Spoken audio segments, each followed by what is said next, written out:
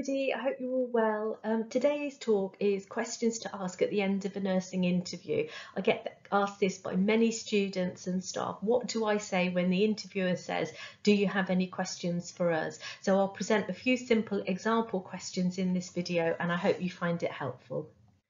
So one of the things I'm asked is, do I have to ask questions and how many should I ask? I would always suggest asking a question if you're invited to at the end so the interviewer says, do you have any questions for us at the end of the interview? As it shows genuine interest in the role and the service. Ideally, ask a couple of good questions. Interviewers have a tight schedule. They have to complete all the interviews that day. So a couple of questions is ideal, no more than that. And you want to leave the interviewer with a positive impression, so ask positive questions, don't focus on the negative. It also isn't the place to start negotiating a different banding. You should have considered that before applying. Once offered the role, you might want to discuss your pay scale if you feel you've got valuable skills and they need to, your pay scale needs to reflect your past experiences, but that should be done outside the remit of the interview.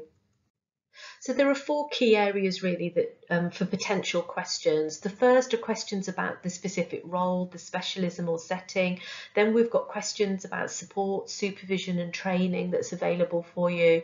Then we've got questions about career development opportunities for your future career progression.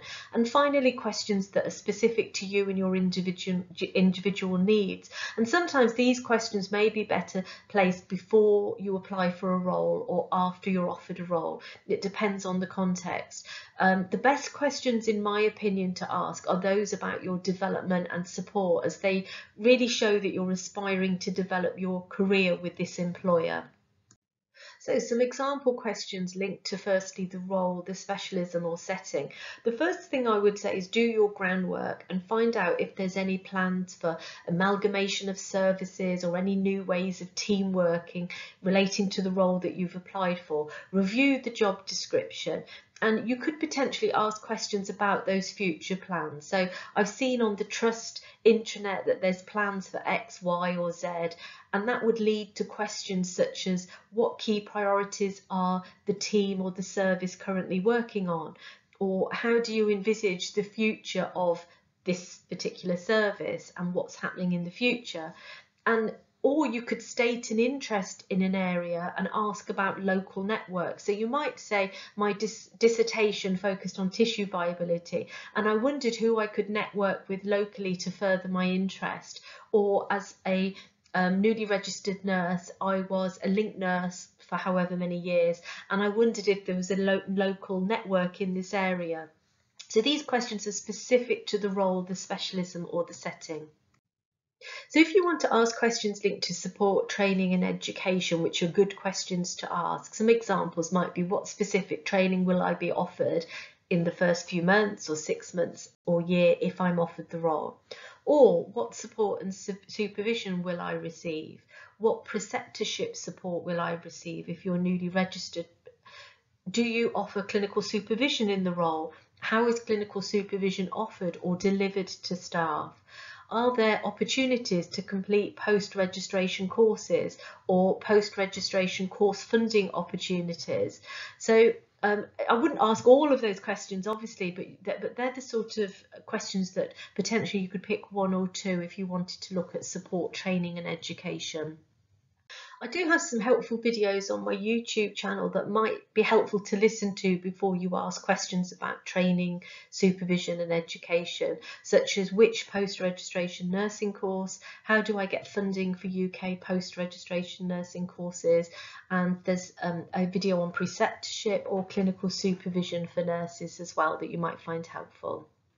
So the third area is career development opportunities. So you might ask what career opportunities are available with you as an employer, what opportunities are there to develop and progress my career with you, and then looking at collaborative um, leading or linking to opportunities. So you might want to develop your career link to service improvement or service evaluations or clinical governance, for example, or have an interest in risk management or evidence-based practice or shadowing leads or shared decision making. So it's helpful if you knew um, you might go on an informal visit, for example, and know that there is um, these opportunities, or you might just be asking. So I wouldn't ask all of those, obviously, but if you have an interest in any of those, asking if there's an opportunity to develop and network and link to service improvement um, is great question to ask in, in an interview.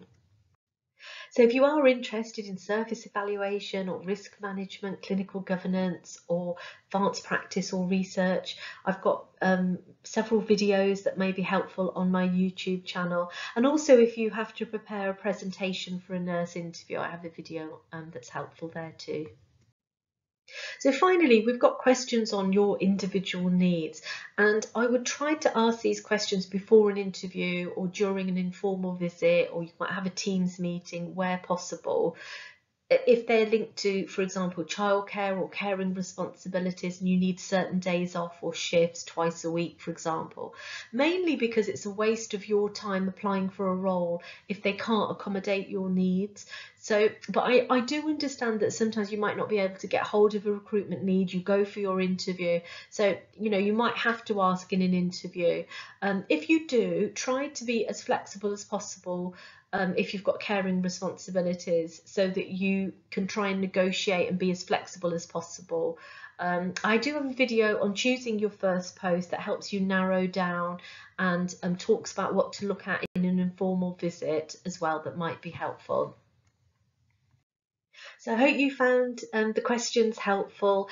If you have any questions, do put them in the YouTube questions and uh, do give me a thumbs up if you found this talk helpful um, and if you would prefer to DM me privately for questions you can DM me on Twitter or my website and do check out my other videos on my YouTube channel.